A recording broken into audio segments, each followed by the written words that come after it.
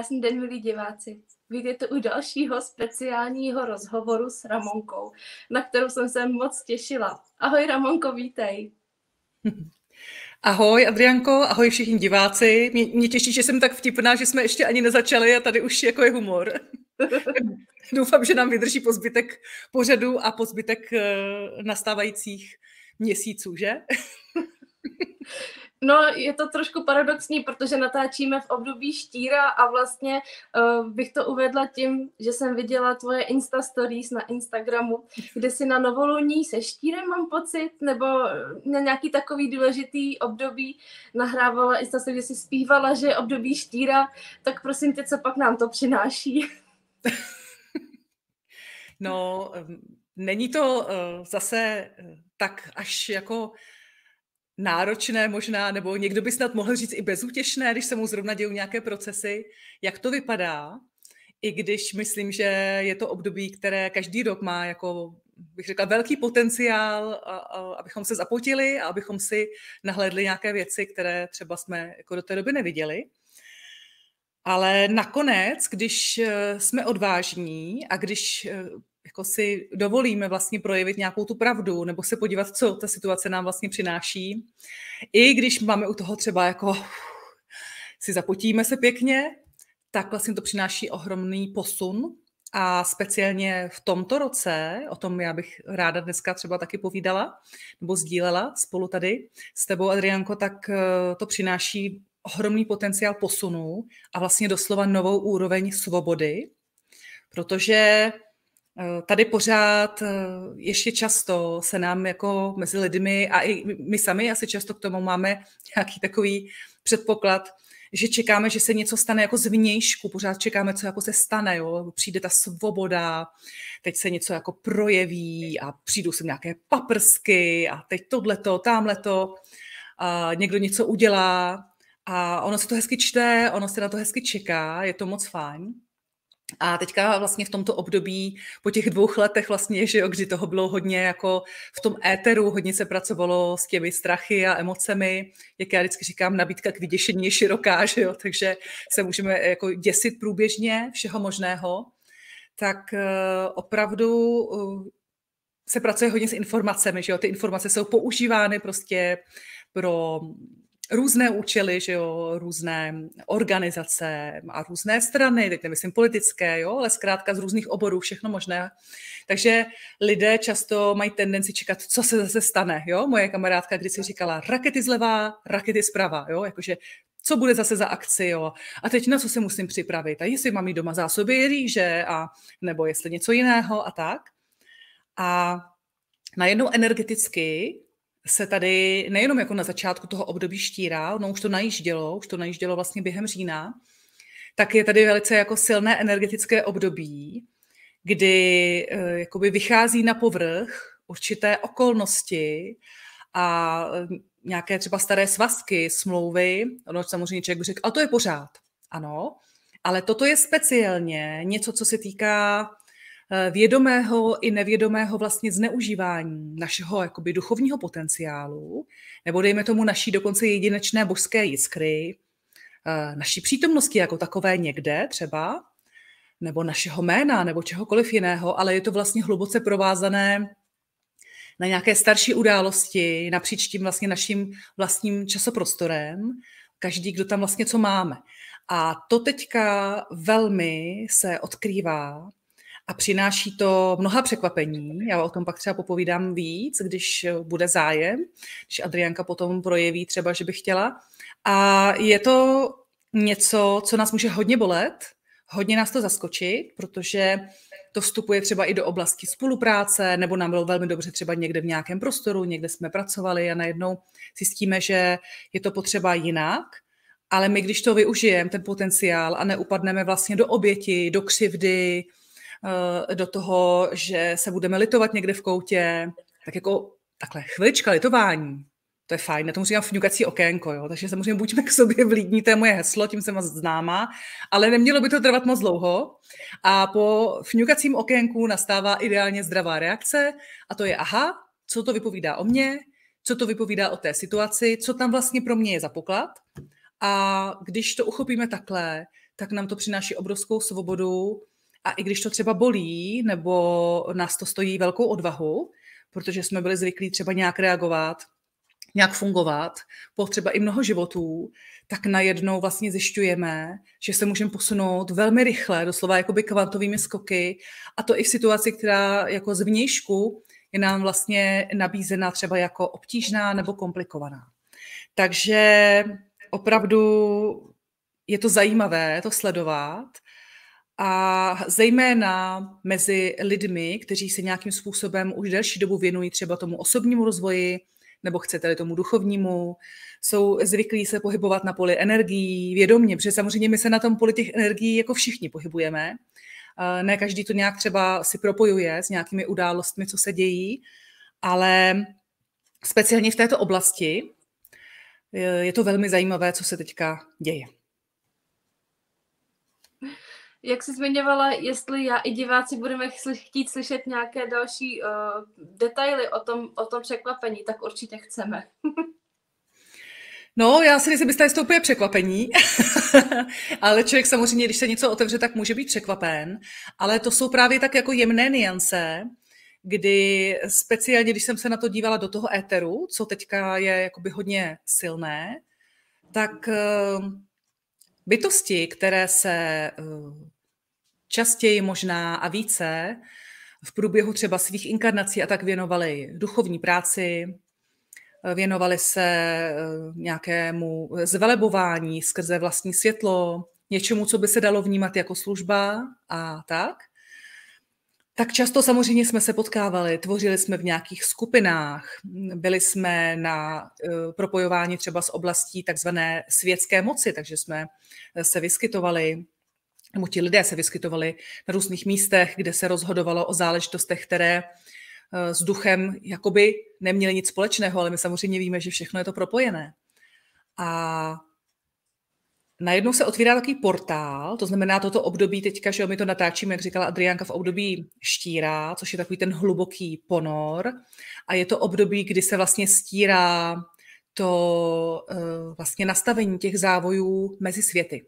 To víme, že je to období dušiček, takže často jsou třeba i eh, častější komunikace s tou naší úrovní těch předků nebo zemřelých, chcete-li, někdo by to takhle mohl pojmout. A najednou se nám tady ale ukazuje, že my sami jsme se vlastně mnohdy eh, v nějakých spojeních a skupinách vědomně a nebo nevědomně třeba nechali zneužívat. Ale pozor, anebo my sami jsme zneužívali. To jako pozor, to, aby to nebylo v tom smyslu, jako že, jo, jak se říká v tom vtipu, a teď přicházím já celý v bílém, že jo, a jako mě to netýká. Samozřejmě všichni jsme si hráli různé role, takže to není jenom o tom, že my jsme na té straně těch, co třeba byli zneužíváni, je to samozřejmě duální zkušenost, takže my jsme mohli taky někoho vlastně vědomně i nevědomně zneužívat, cokoliv takového se mohlo dít. A bytosti, které se hodně věnují rozvoji, eh, sledují určité věci už jako ve vědomých propojeních, jo, proč se co děje, příčina, následek a tyhle ty všechny věci, tak eh, často máme dojem, že určité oblasti, tam, kde by nás někdo chtěl zneužívat, nebo že by někdo se k nám nechoval v respektu a tak, eh, domníváme se, že to máme docela dobře uchopené. Neodvažuji se říct zpracované, ale dobře uchopené. Takže jak si říká, jo, jasně, tady pracuji tady s lidmi a eh, vlastně toto třeba se mne tolik netýká, není to tak jako silné téma. Jenomže tady jsou určitá nastavení z minulosti a já to říkám jenom proto, aby vlastně naši milí posluchači nebo diváci, když to budou poslouchat, tak si vlastně můžete jenom představit, eh, co vám v té chvíli, kdy to teďka tady budu vyslovovat a vyslovuji, co vám tam třeba výjíždí, jo? protože mohou přijít různé aha momenty, kdy dochází k tomu, že eh, v těch různých skupinách, kde jsme tvořili v minulosti, tak samozřejmě vznikaly velmi silné vazby. A to je nejenom ve smyslu jakoby magickém a rituálním, ale samozřejmě byli jsme tam blízcí, byly tam nějaké emoční vazby, emoční spojení, různé přísahy, to znáte, že jo, smlouvy a všechno toto. Ale samozřejmě všechno má svou kladnou stránku v, to, v té duální zkušenosti a něco je takové trošku jako náročnější, nebo tam může vzniknout určitý stín. To znamená i ve silných skupinách, které nesmírně třeba se podporovaly a skutečně třeba společně konali eh, pro nějakou dobrou věc nebo se věnovali nějaké duchovní praxi nebo čemukoliv, eh, tak tam v průběhu času u spousty z nás vznikaly takové buď vědomé, anebo nevědomé háčky a různé jakoby sliby a vlákna, takové eh, loyalty, která nám ale brala svobodu. Jo? To znamená, samozřejmě ano, když se s někým spolu tvoří, tak uh, ta skupina by měla být spolu vlastně vyladěná například a tak. A pozor, uh, jenom aby nevznikl dojem, že se to týká jenom lidí, Eh, kteří se musí pohybovat v té oblasti nějakého toho osobního rozvoje. To je jenom příklad. Vemte si, že vy se pohybujete taky v nějakých skupinách, jste v nějakých firmách, ne náhodou se ocitnete v nějaké skupině společnosti. Ta skupina může být i vaše rodina. Jo? To znamená, eh, toto hodně jakoby vychází teď na povrch v tom skupinovém, jak to vlastně mám, takže bych třeba pracovala s tím, že nechci být v programech služebnictví, nechci být v nastavení, že Eh, vlastně nemám tu svou svobodu a teď si to uchopím, dejme tomu ve svém soukromí, dobře, že nastavím si to v rodině, nastavím si to v něčem eh, pro mě intimnějším a klidně se může stát, že ten stejný můj program mi úplně unikne někde eh, na poli třeba nějaké takovéhle spolupráce skupinové, kde se to jeví vlastně všechno ve velké lehkosti. Jo, v první chvíli vás to nenapadne. Prostě Eh, všechno je fajn, jo, jste tam mezi přáteli, společně tvoříte a tak. Ale spousta lidí teďka mi chodí s tím, a je to zajímavé, jak se to téma otevřelo, tak opravdu si říkám, jak vždycky ti lidé, to vypadá, jak když se domluvili, jo? že přichází a ty příběhy eh, jsou navenek rozdílné, ale vlastně, když potom se dobereme eh, přes ten akášický vhled a přes to vnímání tomu, o co ve skutečnosti jde, tak jde o to, že vlastně ta duše žádá a přeje si vystoupit vlastně ze všech forem, jako té třeba mm, určité zavazující lojality nebo nějakých pokřivených představ o sesterství, jo? třeba v různých kruzích, kde třeba e, ženy se potkávají, nebo nějaké staré sliby. Mohli jsme pracovat a tvořit třeba na určitých, dejme tomu, královských dvorech, jo? kde jsme mohli reprezentovat a přinášet třeba nějaké vědění. Ale tam byla nějaká jiná situace a když eh, se ukázalo, že by člověk nesouhlasil s něčím, co se tam odehrávalo, tak ale ne vždycky jsme se mohli vymezit. Ne vždycky jsme mohli říct ne, anebo mohli, ale stál nás to život. A teďka nevědomky, že jo, jdeme dál. Jsou tady další situace, další životy a najednou v této chvíli, tady a teď, v tomto roce speciálně, v tomto období štíra, která jsem tak oslavně tady jako e, popěvek zaspívala, abych pobavila lidi, jsem si říkala, když už je to tak náročné, tak aspoň se pobavíme. Tak najednou je ten potenciál, aby se toto všechno vlastně otevřelo, aby si každý z nás dovolil vlastně vidět, kde se nechal zneužívat, kde případně zneužíval. Protože ty formy toho zneužívání mohou mít různý uh, scénář vy můžete někde vlastně, a to pozor, to může být úplně nevědomý mechanismus, který cíleně nerozjíždí ani jedna z těch stran. Například se pravidelně pohybujete v nějakém prostoru, eh, děláte tam nějakou práci, jo? buď pracujete v nějaké firmě, tam pracujete, nebo děláte, máte svoji vlastní praxi, potkáváte se s lidmi, nebo třeba děláte v oblasti toho rozvoje například. A máte nějaké nastavení. Máte nastavení vlastně na to že pomáháte třeba otevírat druhým ten potenciál, pomáháte zvědomovat nějaké věci a vlastně při té práci se nesmírně otevíráte, že jo. Teď jakoby sílí v tu chvíli, že jo, děláte něco, co je vám vlastní, co vás naplňuje, takže stoupá i vlastně určitá emoční míra toho nadšení a vy jakoby sytíte a vyživujete uh, nějakým způsobem ten prostor, kde se nacházíte. Ideálně, když je to správně uchopené, tak ne vlastně přes vás, aby to bylo z vaší jako eh, životní energie, Ideálně se vlastně otevřít tomu božskému proudu a být tam jako ten prostřední v té radosti.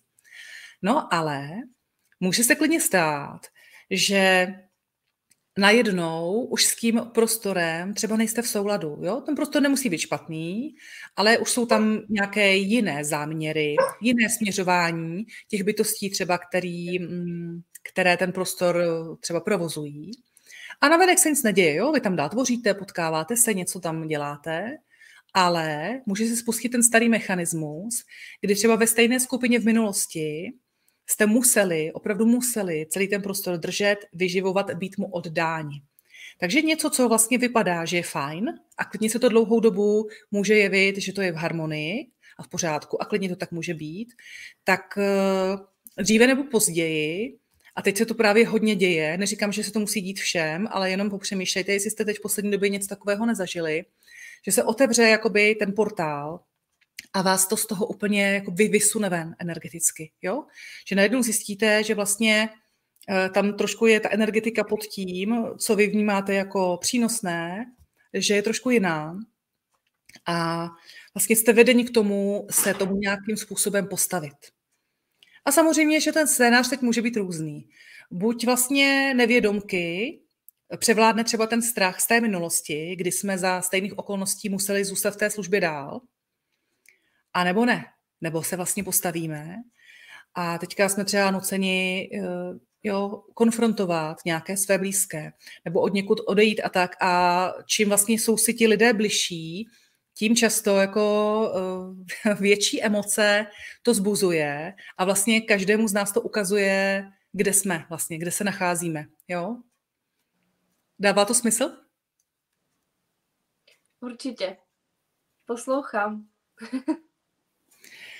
no, takže to je něco, co se teďka hodně děje a ty programy toho služebnictví, ty jsou sami o sobě velmi uh, specifické.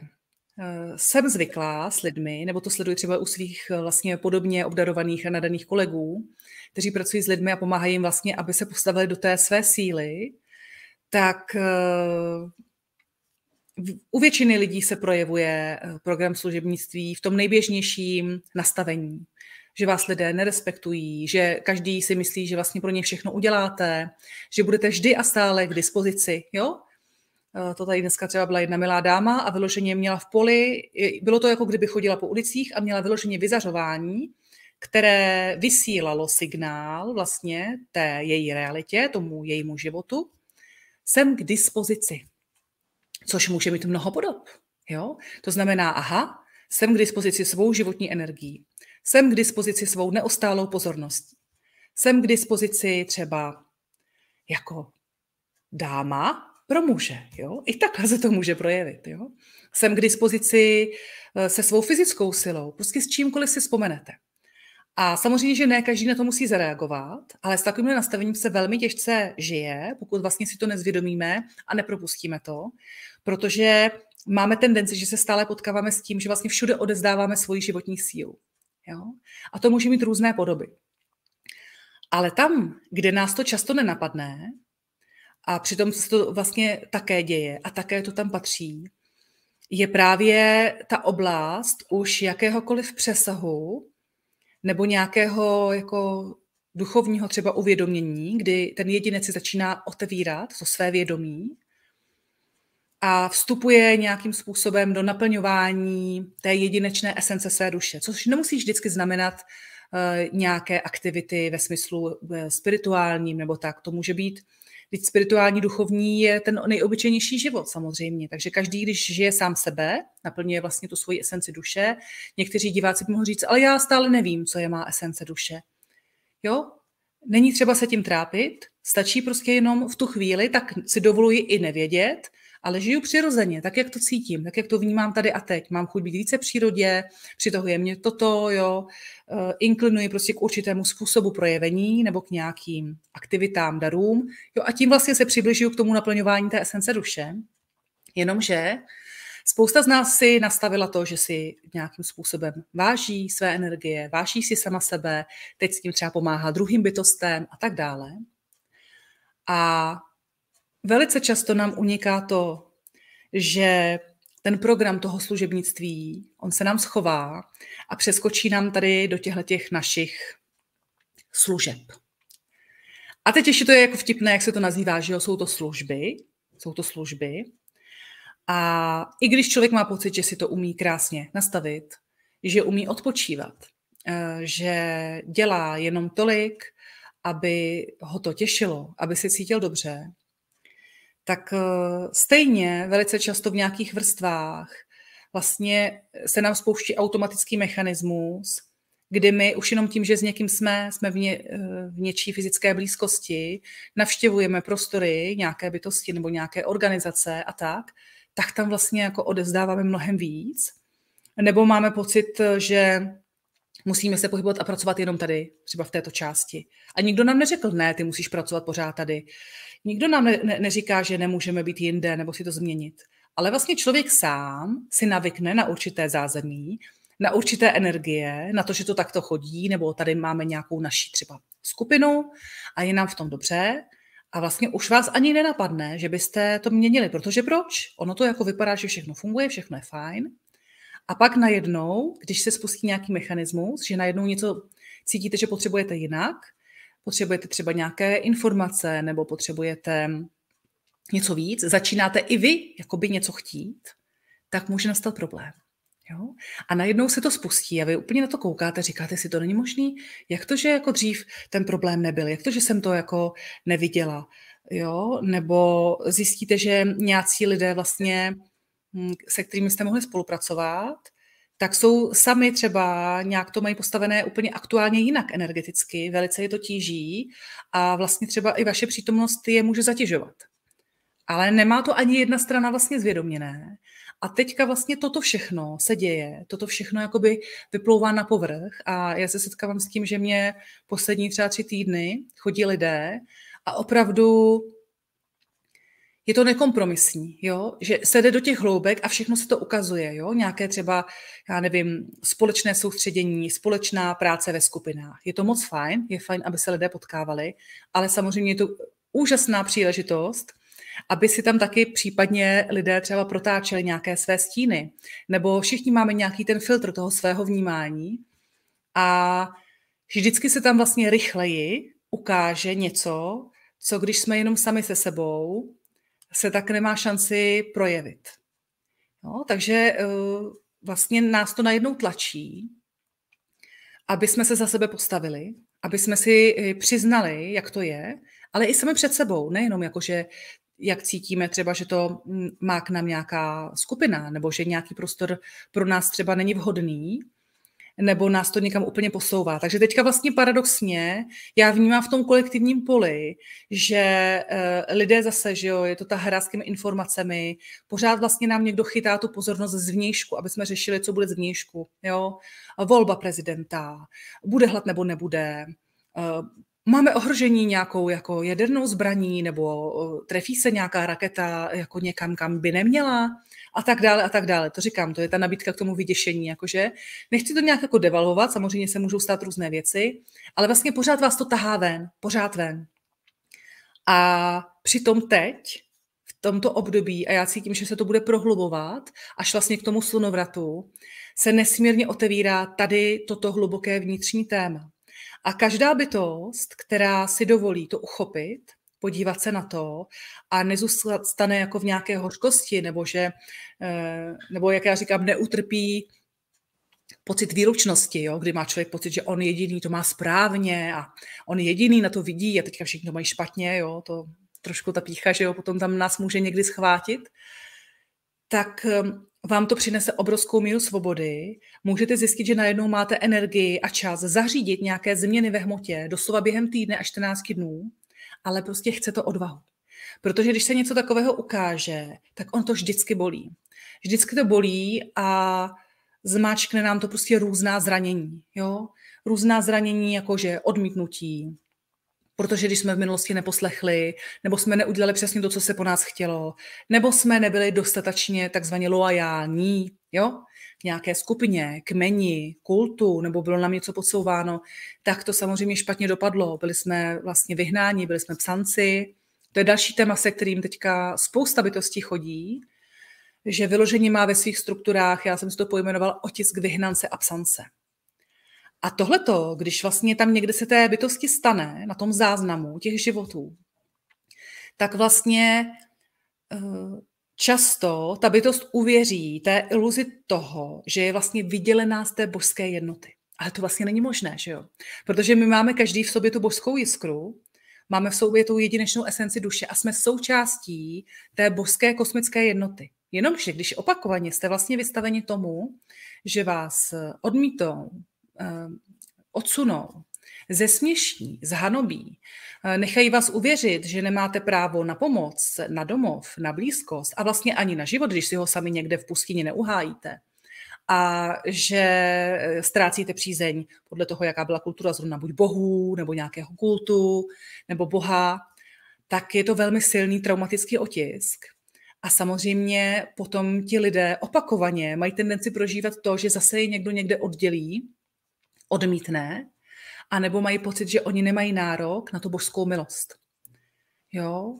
Ale ne božská milost ve smyslu křesťanském, to znamená, že jo, jak to bylo dříve, že tak a když budeš hodnej, a nebo když budeš hodná a budeš dělat toto, budeš ke zpovědi a budeš dělat to tolikrát a odříkáš tohleto, tak potom možná, a nebo zaplaťte desátky a pak to bude fajn. Samozřejmě i pohanské kultury měly, že jo, určité nějaké své věci a tady vlastně v té hmotné realitě my jako lidé často se to zneužívalo, že jo, toto.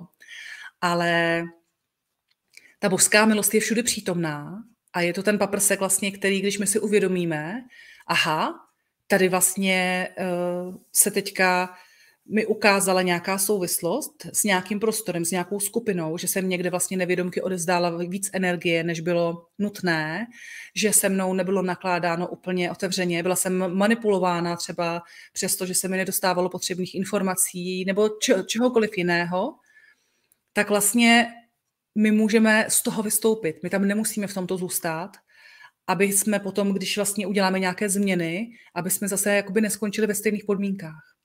Jo? Ale je to samozřejmě i jako velká zkouška pro ego, protože, říkám, jsou okolo toho často jako velké emoce, ne vždycky dojde k pochopení na jedné nebo druhé straně a i s tím my musíme vlastně počítat a nechat si tam to, co je naše a nevstupovat už potom do těch energií a do těch záležitostí třeba já nevím, zbytku skupiny nebo druhé strany nebo té situace zkrátka, ve které se nacházíte, která se otevírá.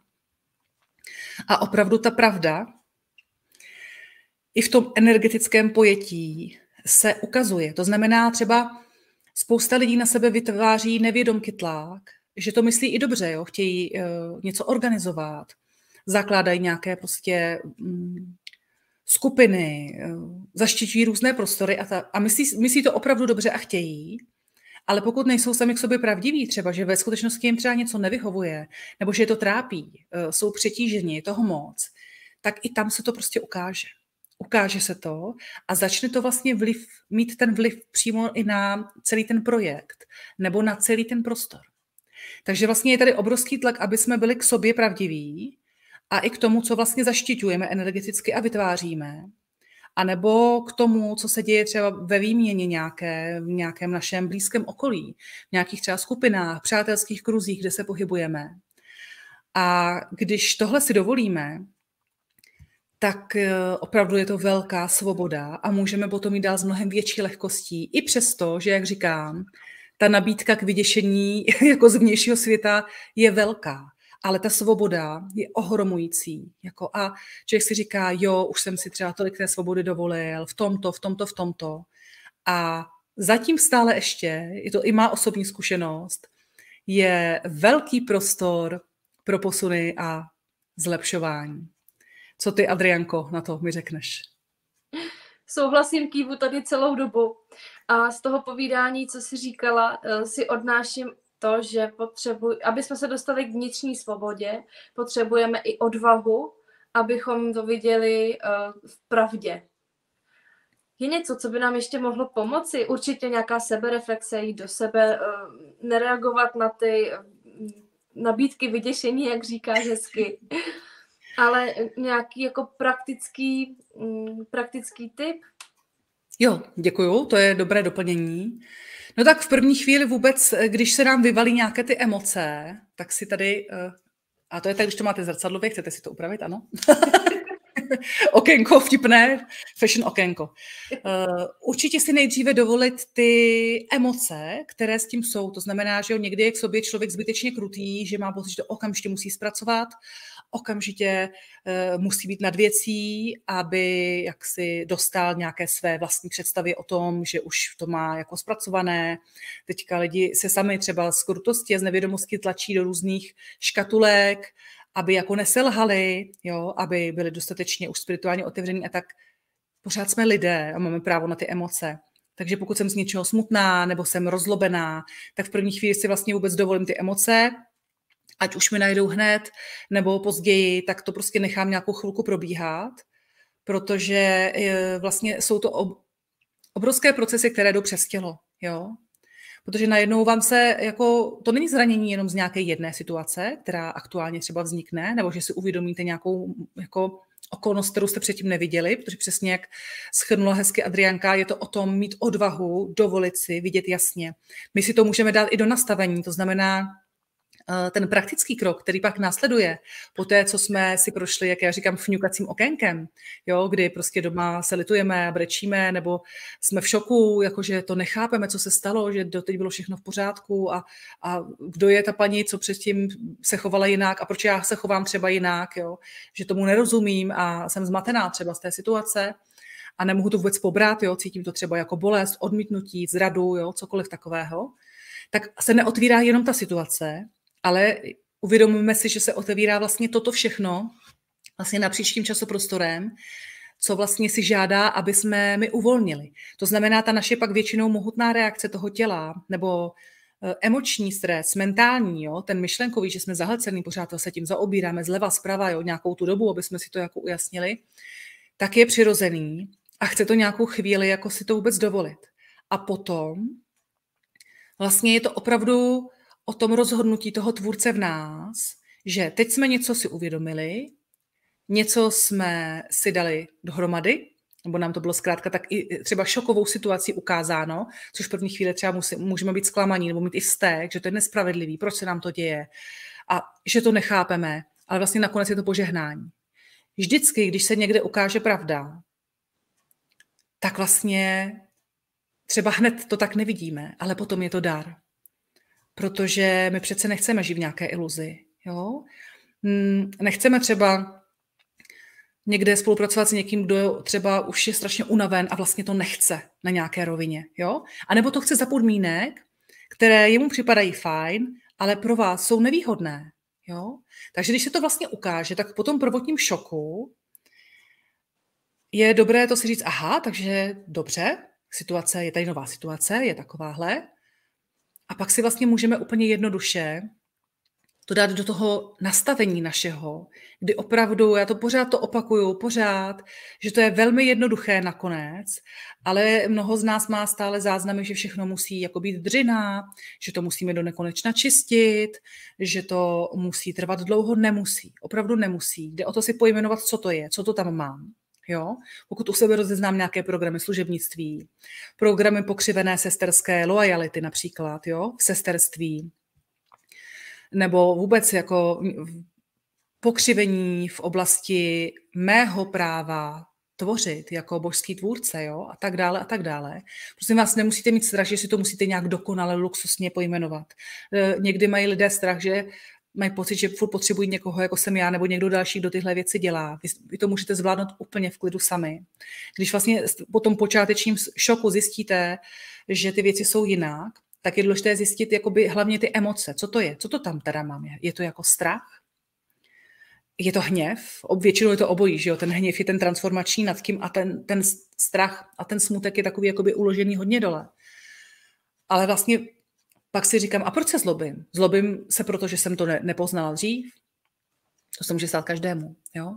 Zlobím se proto, že jsem nechala probíhat nějakou dobu uh, nějaké okolnosti v neúplně příznivých podmínkách. To se může stát, ale to se může stát každému z nás.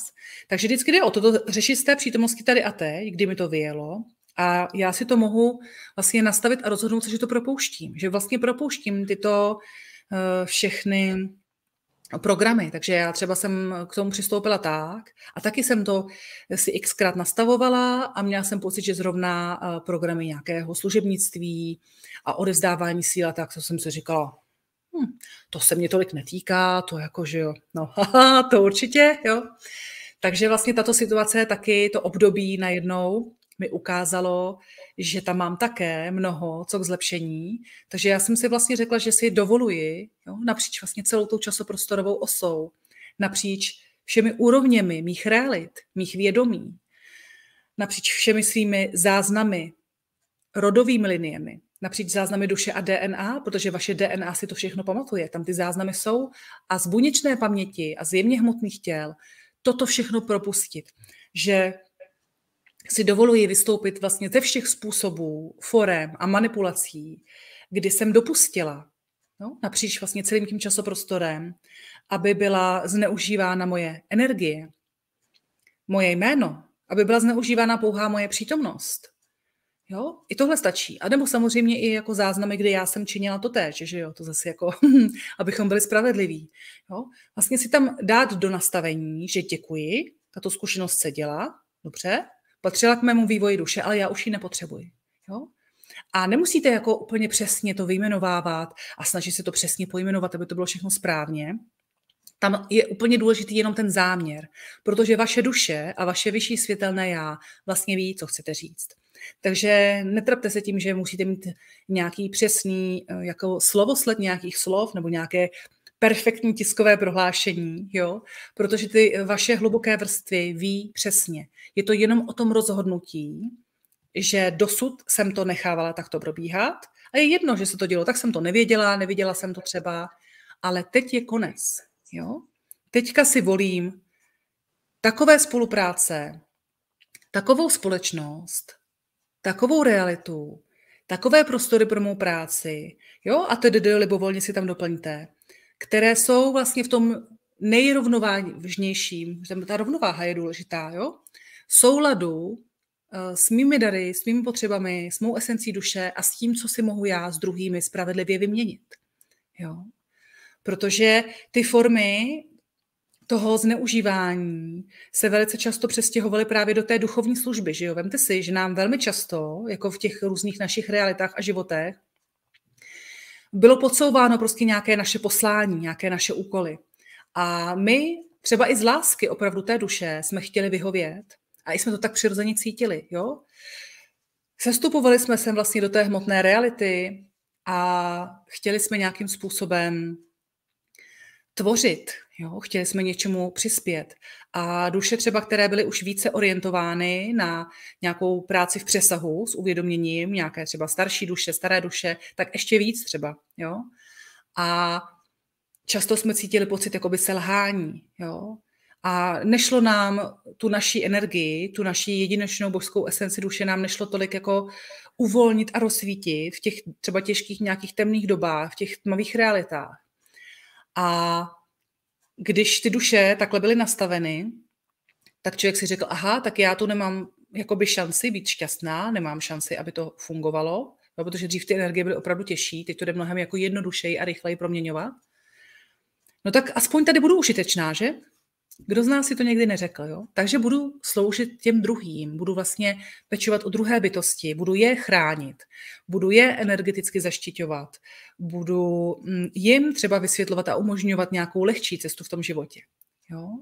A spousta velmi silných a vyrovnaných bytostí, které mají v sobě velmi dobře ukotvenou sebehodnotu, sebeúctu a třeba jsou uznávanými, já nevím, průvodci třeba mezi lidmi pro nějaký, jakou jejich schopnost třeba inspirace a toho, co vyzařují, tak eh, by byli třeba překvapeni, že tam můžou tohle u sebe také objevit. Jo?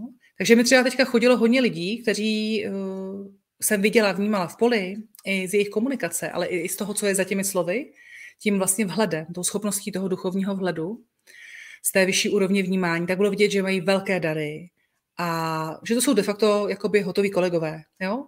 A teďka měli prostě obtíž, nepouštělo je to vůbec, z nějakých důvodů, přitom to měli dobře uchopené, ve hmotě, fungovali všechno.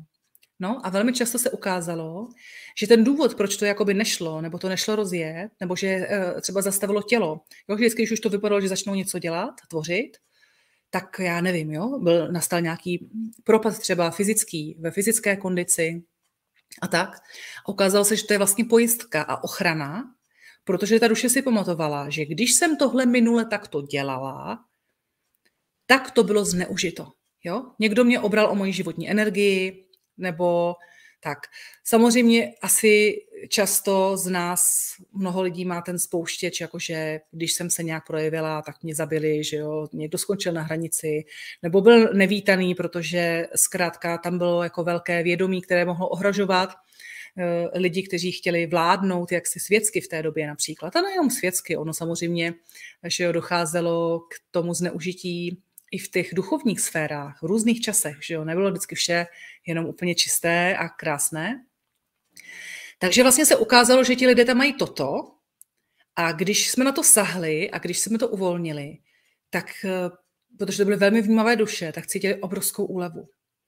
Jo, najednou jim to jako dalo smysl, že vlastně, aha, tak proto vlastně mi to nešlo, proto jsem se do toho nepouštěl, nebo proto se mi nechtělo vlastně furt rozjet tenhle projekt, Protože vlastně, kdybych to udělala, nebo kdybych to udělal, tak tam vlastně ta duše ví, že tam bylo v tom nastavení, že tam hrozí tady to, jo?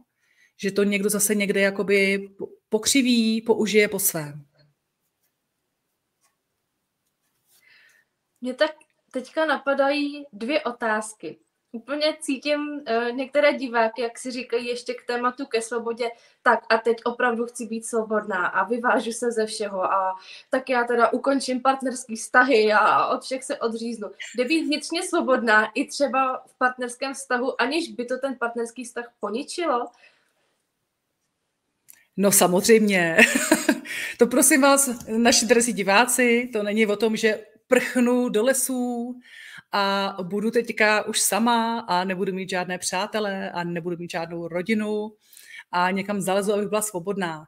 Kdyby to bylo takhle, tak eh, to by asi tady nebyla taková zábava.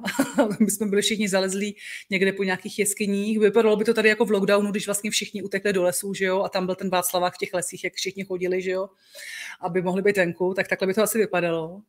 Eh, vůbec to není o tom, to bychom to vlastně špatně uchopili. Ale děkuju, protože já vím, že Adriánka se ptala právě, aby jsme to rozvedli, takže super otázka.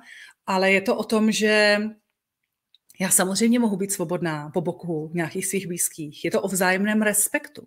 Je to o vzájemném respektu a není to o tom, že jako uvěřím realitě, že všechno mě ruší, každý mě ruší a já nemohu být sama sebou po boku druhých. My jsme sem přišli jako bytosti, aby jsme vlastně byli spolu, aby jsme tvořili spolu, aby jsme se potkávali, proto jsme různí, máme různé dary, máme, každý máme nějakou tu jedinečnou vlastně esenci té duše v nějakém tom paprsku, což je vlastně fascinující. Jo? Ale to, co jsem vlastně chtěla říct, je, že může dojít prostě v současné době k různým jako překvapením, že jsme dlouho něco neviděli, anebo jsme to dokonce ani nemohli vidět, protože to některé tyhle ty, jako situace mají určitá načasování. Já tomu říkám, že to jsou takové jakoby časové kapsle, ono to čeká, jo? Takže prostě nic se neděje, nic se neděje a najednou prostě se to otevře. A ty jako všichni jsou překvapení, jo? Je to stejný, jako když někdy přijdou lidé na sezení a diví se, že já nevím, do nějakého určitého věku eh, nebyla třeba alergie nebo nic se nedělo a najednou je to tady. Jo? A často je to spojené opravdu jako prostě s určitým bodem v tom časoprostoru, který vlastně čeká na to projevení. Někdy samozřejmě, ale je to už jako delší dobu ve vzduchu, že to cítíte, že to je jakoby potlačované. A když někdo dlouho má pocit, že jde proti sobě, jo, tak eh, většinou, že jo, dříve či později ho to někde toho člověka dožené a pak to prostě, že jo, je to takový ten, ta etna, prostě buf, jako, jo. Což, říkám, může přinést různé situace, ale vlastně je to dobře, protože se ukáže teda, o co jde a není tam taková ta silná autokorekce, Jo, někdy se taky vlastně říká v určitých situacích, když je člověk rozněvaný, bedlivě mu naslouchej, dovíš se pravdu. Já si to úplně tak nemyslím, že to je vždycky o tom, protože ze své zkušenosti i průvodce a i jako člověka, který tady už nějakou dobu že jo, je, vím, že lidé v hněvu říkají i věci, které ne vždycky tak stoprocentně myslí. Jo? Je tam takové to vlastně z toho vnitřního dítěte, z toho zranění, je tam ta touha jako co nejvíc jakoby ublížit a někdy je to až opravdu jako komický, co z nás vypadne že jo, v hněvu. Takže není to vždycky tak úplně, že je stoprocentní jako pravda. Ale jako velmi eh, je to tam tomu blízko, anebo to tak skutečně jako je. A z toho vlastně člověk může zjistit, jak si stojí, jaká je ta situace. Jo? Takže není to o tom, že všechny opustíme, ale hodně se stává a čím čas, takhle, eh, čím více ta která duše je na cestě nějakého toho vtělování. A teď to není o tom, že jako starší, mladší duše, lepší, horší a tak. To není žádné srovnávání, nic, jo.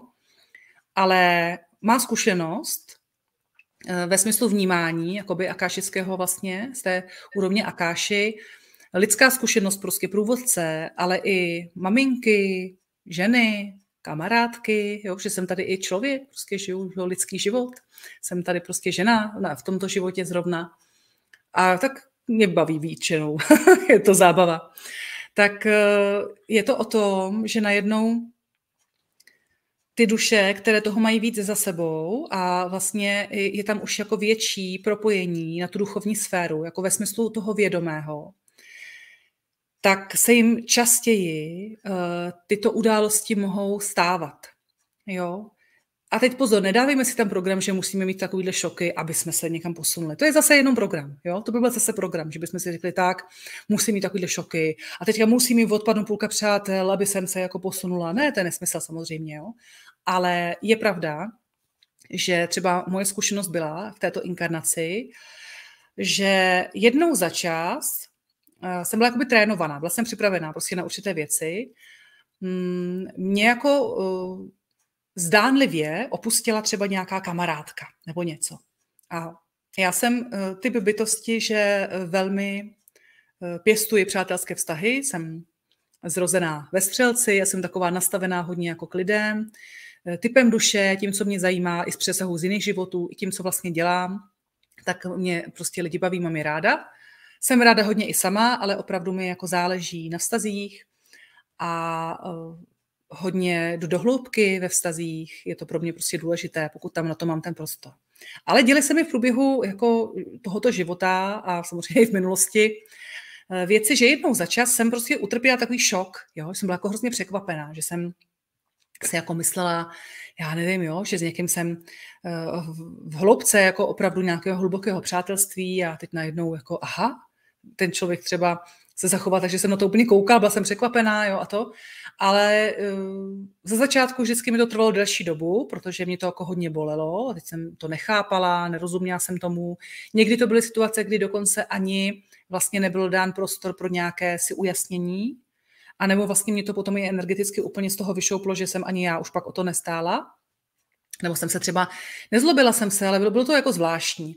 A když jsem se na to ptala jedné eh, kolegyně, taky nadané vlastně takovýmhle vnímáním, a ona mi tehdy řekla, a to bylo úplně přesné, ona říkala, víš, Ramonko, ty vlastně se budeš potkávat se spoustou bytostí skrze svoje poslání, skrze jako uh, svoji práci a ty máš tak široké srdce, že ty by si jakoby tam každýho zahrnula a vlastně jako není vlastně čas jo, všechno takhle hluboce jako prožívat, a může se stát, že prostě, že jo, lidi si udělají projekci na vás nějakou, nebo prostě mají nějaké svoje procesy a tak neuděláte s tím nic.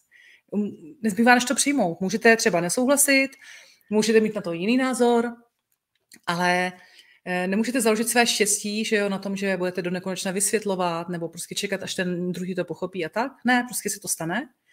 A třeba někdo se vymění, odejde z toho vašeho života, nebo usoudí, že já nevím, jo, okolo vás je něco, hu, hu, hu, a tak radši teda s váma nebude v kontaktu, a to budete koukat, budete si říkat, cože? jo, ale to je v pořádku. Ten člověk prostě to tak cítí z nějakého důvodu a nedá se nic dělat. Jo, jede se vlastně dál.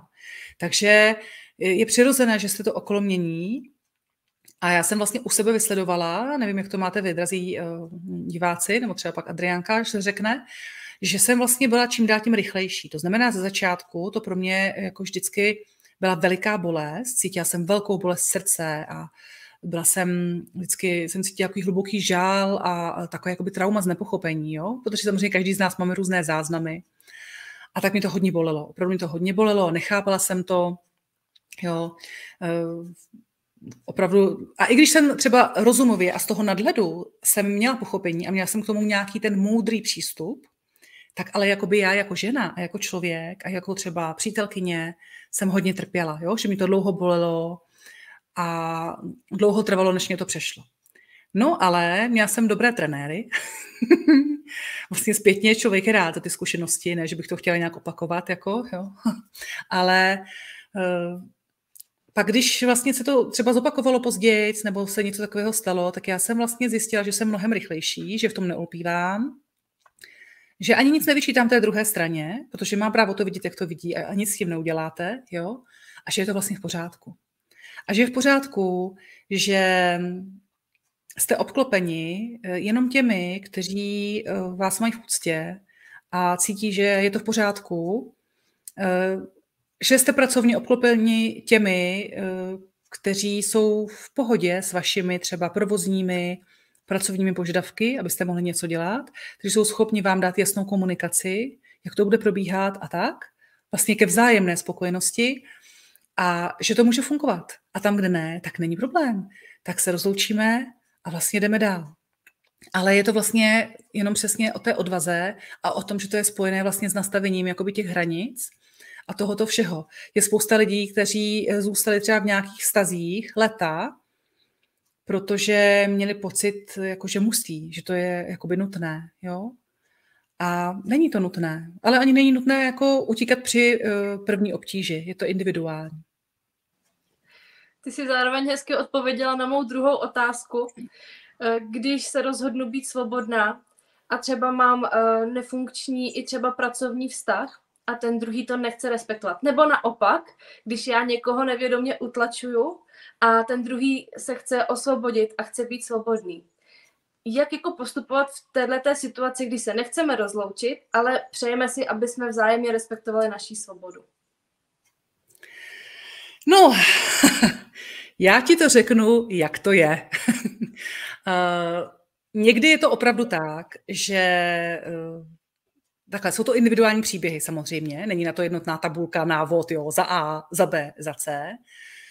Jsou, je více možností. Když je to na pracovním poli a ti lidé jsou schopni oba, nebo obě ty strany jsou schopni na to nějakým způsobem nahlédnout a i když třeba si úplně vzájemně přesně nerozumí, tak pochopit tak zhruba, co se tam děje a jsou v respektu, no dobře, tak se mohou domluvit, že třeba pracovně opravdu eh, každý směřují jinam energeticky a mohou zachovat třeba to přátelství. Jo?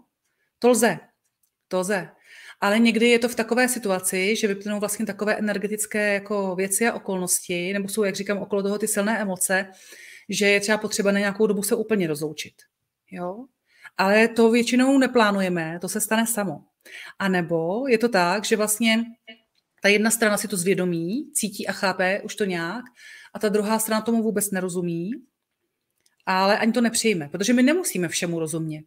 Jo? Ani my nemusíme pochopit třeba tu druhou stranu, ale eh, měli bychom se respektovat. A když ti lidé nějakým způsobem se mají rádi, nebo něco spolu zažili, nebo spolu zažili něco třeba na rovině duše, tak se nemusí třeba v tu chvilku aktuálně shodnout na nějakých věcech. Jo? Nemá třeba jedna strana náhled vůbec na, na nějaké okolnosti, nebo, nebo obě strany na to nemají náhled, jo? Každá má, nebo každá má ten svůj, takže prostě je to takový to new, new, jo, prostě, jo, halo, halo, chcete se domluvit a prostě to nejde. Dobře, ale když je tam ten respekt a to pochopení, tak já prostě přece taky potřebuji pracovat s někým, kdo se mnou chce pracovat, kdo se se mnou cítí dobře, eh, kde to funguje. Ale i já se tam potřebuji cítit dobře, potřebuji si cítit v bezpečí, že funguje jasná komunikace a tak.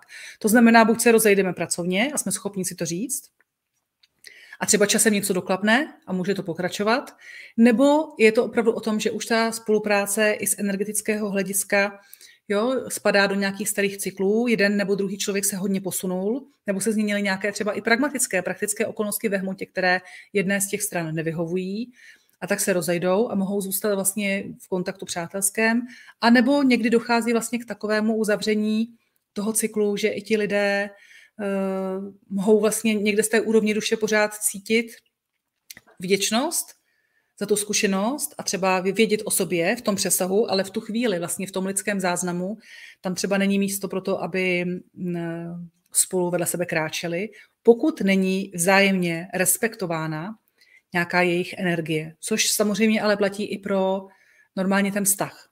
Jo? A pokud vlastně jedna z těch stran, když obě, tak to už je úplně špatný, že jo? A když jedna z těch strán opravdu vůbec jakoby nechápe a pořád vlastně eh, jste vystavováni nějaké manipulaci nebo vám tam pořád podsouvá něco a tak, tak ono obvykle, že jo, vás to mm, vysune i z té komunikace jako potom osobní, protože to vlastně nejde, že jo.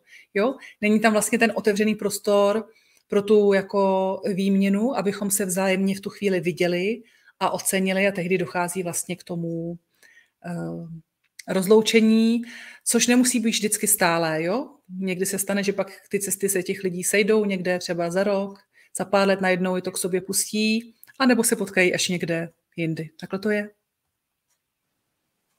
Ramonko, my ti moc děkujeme. Máš ještě pro diváky nějaký vzkaz nebo uh, nějaké rozloučení? Eh, já bych eh, jenom ráda vlastně všechny pozbudila, aby eh, se se opravdu nebáli, když zjistíte, že se změnily nějaké okolnosti, že jste někde, kde vám to opravdu nevyhovuje, jo, kde to, nebo jsou tam jiné podmínky, než jste čekali. Jiná situace, energetická, praktická, jako myslím v reálu, nebo nějaká jiná, nebo zjistíte, že nějaký vztah osobní, pracovní, Eh, že ta druhá osoba to vnímá třeba jinak, že tam není taková třeba lehkost nebo něco, jak jste se domnívali. Nebojte se na to reagovat a vystoupit z toho. To jsou právě přesně ty programy toho služebnictví a takové té naší jakoby loyalty, jo? že to může být třeba nějaká skupina, se kterou jste propojeni třeba hodně z nějaké dávné minulosti a tam se nám spouští staré vlastně strachy, se nám otevírají. Když odejdu z té skupiny, tak to bude znamenat můj smrt, nebo to bude zrada.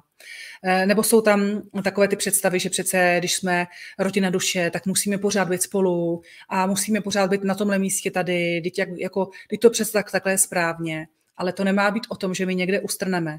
Takže vůbec se nebojte si vlastně dovolit eh, to měnit, být flexibilní. A ono je to o tom, že my si často zvykneme a sami to vlastně už necítíme a nevidíme. Nás vlastně ani nenapadne, že bychom mohli jít někam, eh, že bychom mohli jít někam jinam, eh, že bychom to mohli nějakým způsobem eh, pojmout jinak, že bychom si mohli najít jiné prostory, že bychom mohli začít dělat něco úplně jiného, protože lpíme na tom, co známe a máme tam jako by ty závazky, ty iluze těch závazků z nějakých těch skupin a z toho, že aby jsme byli milováni a přijati, tak musíme pořád pokračovat tak jako dosud.